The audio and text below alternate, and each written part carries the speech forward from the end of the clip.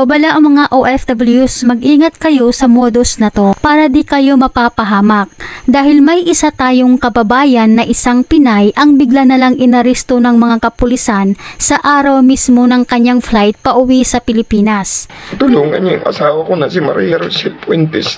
Wala po siyang kasalanan. Pero bago tayo magpatuloy, huwag kalimutan i-like, share, subscribe at pahit na rin ang kampana for more upcoming videos. Salamat! Isa sa pinakamasayang araw ng mga OFWs ay yung pauwi na sila sa Pilipinas. Isa na dito si Maria Rosel C. Puentes, 35 anyos na isang overseas Filipino worker sa Hong Kong. Ang excited nang sumakay sa eroplano pauwi ng Pilipinas upang makita at makasama ang pamilya.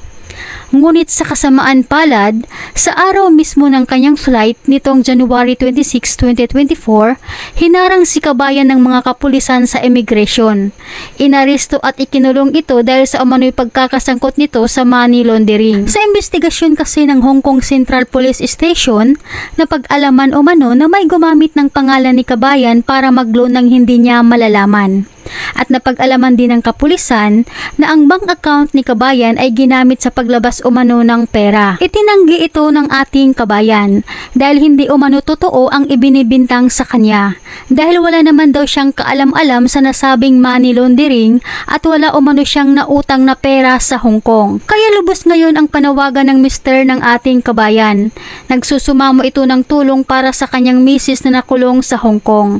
Nanawagan ito kay Pangulong Ferdinand Bongbong Marcos, Senator Rafi Tulfo at OWA Administrator Arnel Ignacio na sana'y matulungan ang kanyang misis dahil hindi na rin ito makontak at wala na siyang balita kung ano na ang kalagayan ng kanyang misis sa ngayon. Isa po siyang OFW na nagtatrabaho ng maayos na pinaparatangan nila ng hindi naman niya ginawang kaso. Yung kaso sa kanya na ibinibintang na nadadawit siya sa isa daw pong money laundering, mahal na Pangulo. At sa mga bumubuo ng mga mga pwedeng makatulong sa akin sa OWA, sa Rapid Tulpo. Humingi po ako ng tulong sa inyo para matulungan po yung asawa na nagdudusa sa kasalanan. Wala siyang idea, wala siyang kaalam-alam. Sana po mabasa niyo po, makita video na to. Matulungan niyo kung may share yung video na to. Tulungan niyo yung asawa ko na si Maria Rochelle Fuentes na nagdudusa ngayon sa escort sa kulungan ng mga babae. Mag-ingat po kayo mga kababayan OFWs, lalo na sa mga OFWs na nasa Hong Kong. Dahil hindi lang ito ngayon nangyari. Marami na sa mga overseas Filipino workers ang nakasuhan ng money laundering. Dahil sa ginamit o mano ng mga sindikato na nauugnay sa mga scam ang mga bank account ng ating mga kababayan.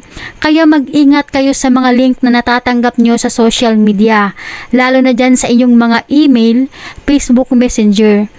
Huwag na huwag po kayo basta-basta na magkiklik ng link dahil yan po ang kalimitan na ginagamit ng mga sindikato upang makuha nila ang inyong personal na identifikasyon hanggang sa sila'y makapasok na sa inyong mga personal na bank accounts na siyang gagamitin nila na daluyan ng pera sa pang-i-scam.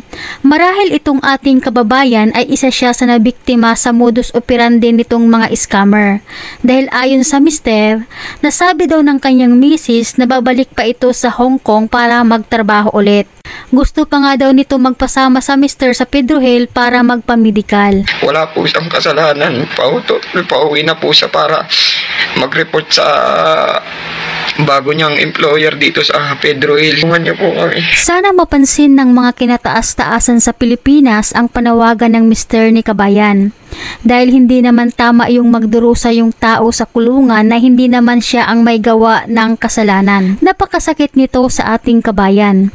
Imbis na sanay nasa Pilipinas at kapiling na nito ang pamilya, ngayon ay nagdurusa ito ng sobra sa kulungan doon sa Hong Kong. Dahil sa paratang na hindi naman niya ginawa. Kaya mag-ingat po kayo mga kababayan.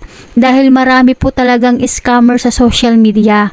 Yung iba, gumagamit ng mga mukha ng mga sikat na artista para makainganyo ng mga tao na maklik yung link nila. Kaya iwasan nyo pong i-click yung mga link na dumating sa inyong Facebook Messenger at email.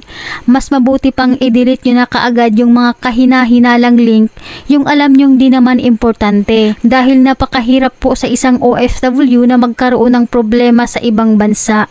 Malayo ka sa pamilya walang dadalaw sa'yo at di rin kayo kaagad matulungan dahil hindi lang naman ikaw ang OFW na nanghihingi ng tulong. Kaya yung iba ay naabot pa ng ilang buwan at ilang taong nakatingga sa kulungan dahil sa dami ng OFWs na tinutulungan ng gobyerno. Hanggang dito na lamang po mga kababayan, palagi po kayong mag-ingat kung saan man kayo ngayon.